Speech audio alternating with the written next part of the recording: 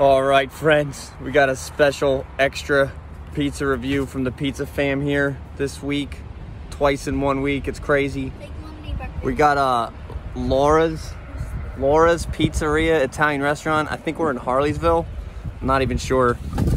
The kids uh, just had their first golf lesson right down the road here. Very nice place. Wait, my how? Cam's here. Maddie's right over here. Hi. One bite. Now I'm good. Nobody knows the rules.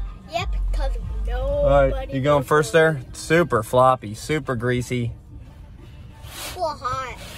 I need one more napkin. Just put the box on over your lap. Okay. What do you think, bud? Perfect amount of sauce. Perfect sauce. amount of cheese. Perfect sauce, perfect cheese. Really good flop, flop, floppy. If you like flop. And the crust is so good. What's the score, buddy? 9.99. 9.99. Look at the bottom of this thing. Looks pretty good. Give it a score. All right. Um.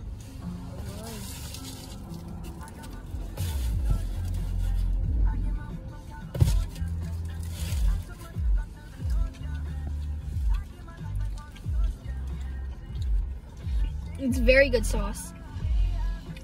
I personally think maybe there's a little too much cheese. I really like the crust. It's a little bit floppy, so I say 8.4. That's a good score. Mine, mine was better. I like it. You can taste um, a lot of Italian seasoning and it's pretty good. I like it. I'm, I'm pretty good with it. What'd you give it? 8.4.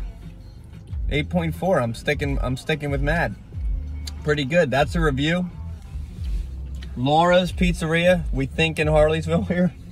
8.4 It's right near a Wawa. next to the Wawa. Seriously, you gotta try And a jiu-jitsu. It's right next to a jiu-jitsu. Next to the You jiu-jitsu place. try this pizza. We actually came um to we looked for a place called Costello's Pizza, which was supposed to be over there in that strip mall, Next but it's gone. So then we saw this pizzeria next to Laura's here, next to Wawa, and hit it up. So 8.5, there it is, hidden gem. Happy Memorial Day. Happy Memorial Day. Have a good one. Wait, no, we might do a, we might do a pizza review on. Happy Memorial Day. Thanks to all of our our soldiers and everybody out there. Peace.